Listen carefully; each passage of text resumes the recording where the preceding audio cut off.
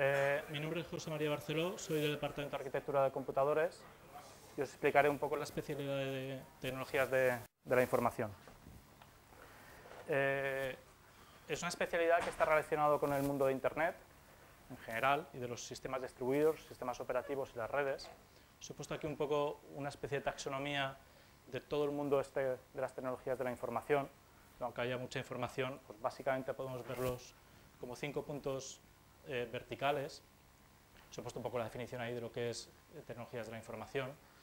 Eh, una de ellas estaría más relacionado, si empezamos por la por mi izquierda, por la parte del interfaz de usuario.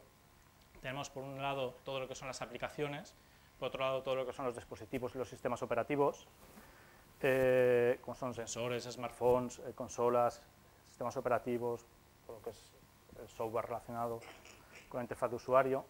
Tenemos por otro lado toda la parte de conectividad a Internet. La parte de conectividad va desde el acceso a Internet, desde los proveedores de servicios de Internet, hasta las redes de acceso, hasta puntos neutros, el corazón de todo lo que es las operadoras de telecomunicaciones en Internet. Tenéis por otro lado todas las tecnologías de servicio que permiten eh, conectar servicios.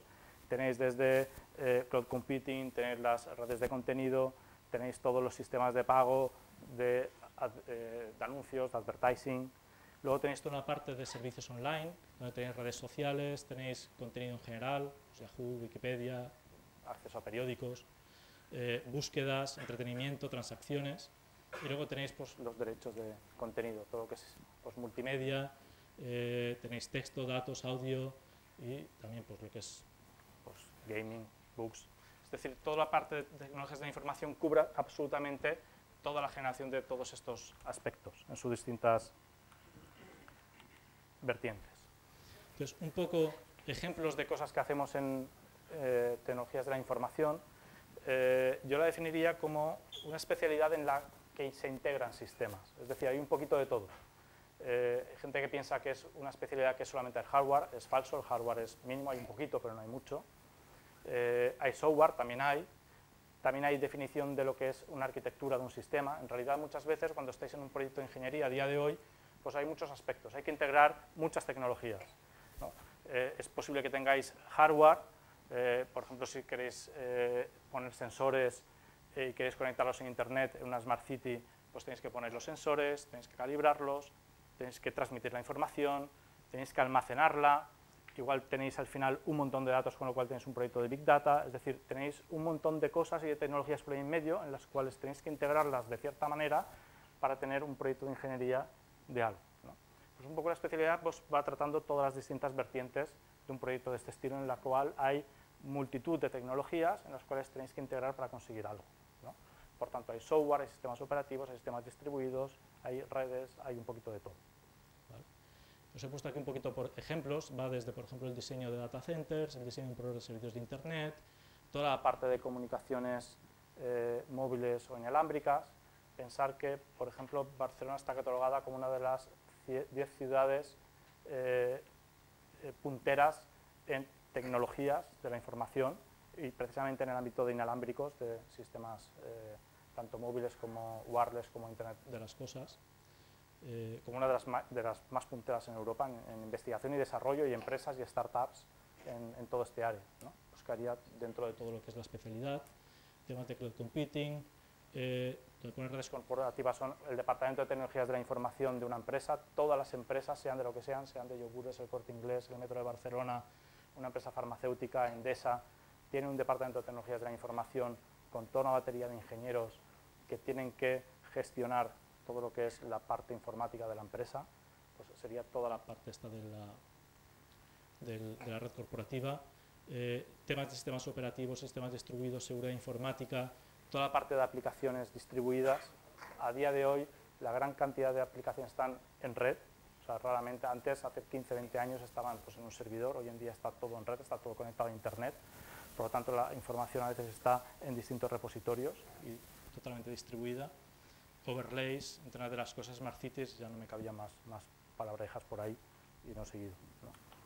Eh, las asignaturas, pues básicamente hay, están divididas como en un triángulo en tres partes, unas sistemas operativos, sistemas distribuidos y la parte de redes. En redes tenéis desde la parte de diseño de, de ISPs o de departamentos de tecnologías de la información a toda la parte de inalámbricos o de operadora, sistemas operativos, tenéis desde la administración del sistema operativo al diseño y rendimientos de los sistemas operativos para todas sus vertientes. En la parte de aplicaciones distribuidas, sistemas distribuidos, pues tenéis la información en distintos repositorios, toda la parte de centros de procesamiento de datos, etcétera, etcétera, etcétera. Las que están amarillos son obligatorias, las que están en azul son complementarias. La descripción de las asignaturas, pues no voy a entrar en ellas porque a fin de cuentas están, lo tenéis en, en la guía docente y podéis mirar un poquito lo que, lo que hay en cada una de ellas.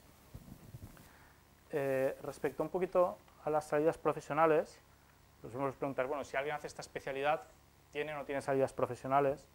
Eh, la verdad es que a veces es difícil venderlo. Yo lo que he hecho ha sido preguntar cuántos TFGs tenemos en empresa y cuántos no, para saber un poco un parámetro, porque yo no sé la gente que termina la carrera si acaba de reponedor en Mercadona o acaba haciendo informático, ¿no? Pero sí sé que los que hacen el TFG en empresa, en la especialidad, tienen que estar relacionados con la especialidad. Entonces tienes eh, TFGs de modalidad A, B, C y D, la A son los que se realizan en los departamentos de la UPC, los B son en empresa, los C son en movilidad, los Erasmus, y los D son los que se hacen en empresas en extranjero, creo que también en el resto de, de España, que sea. Pues nuestra especialidad, del, desde que empezó la especialidad, prácticamente tenemos el 35% lo han hecho en la UPC, pero el 60% casi casi lo han hecho en empresa. Luego significa que la gente que hace la especialidad no le cuesta encontrar trabajo relacionado con la especialidad, ¿no? ya que el TFG es obligatorio que sea en una temática de la especialidad. ¿no? Luego parece que tiene buenos números y que un 60% de nuestros estudiantes pues, fácilmente, ya cuando está en el último año de carrera, hace el TFG en, en la empresa. Eh, no les buscamos trabajo nosotros, lo digo porque me vino uno hace un año diciendo que quería hacerlo en una empresa y que le dijera yo en qué empresa podía hacerlo.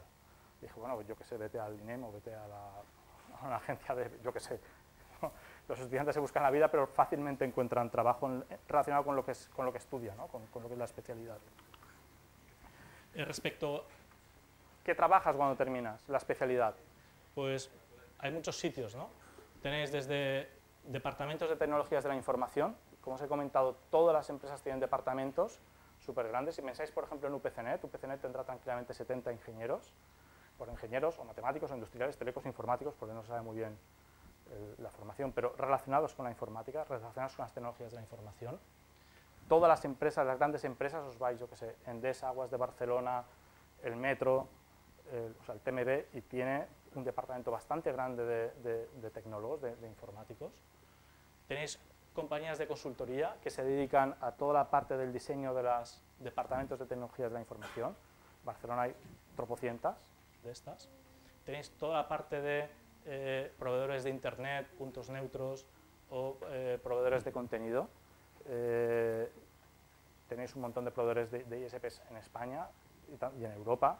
Tenéis también un montón, tenéis por ejemplo punto neutro aquí en, en, Barcelona, es decir, hay puestos por ahí. Operadoras de telecomunicación, todo el mundo celular, de las aplicaciones móviles, sistemas operativos relacionados con los móviles, tecnologías inalámbricas, tecnologías móviles, cualquier cosa toda la parte de redes sociales, toda la parte de seguridad informática, la parte de cloud computing. Hoy en día hay mucha gente o muchas empresas que no quieren, tener sus, no quieren manejar sus servicios dentro de la empresa. Lo que hacen es utilizar intermediarias, empresas intermediarias, que son expertos en ponerle los servidores, en manejar toda la parte del sistema operativo de servicios, de forma que no tengan que tener ellos un CP dentro de la empresa con ingenieros. Eso se lo pueden permitir empresas muy grandes, pero las pequeñas no pueden hacerlo. ¿Qué hacen estas pymes? Pues hay un montón de startups y de empresas pequeñas que hacen cloud computing y que ofrecen servicios de virtualización, etcétera, etcétera, a empresas más pequeñas que no pueden permitirse el lujo de hacer eso. ¿no? Pues eso tiene que hacerlo pues un, un, informático también.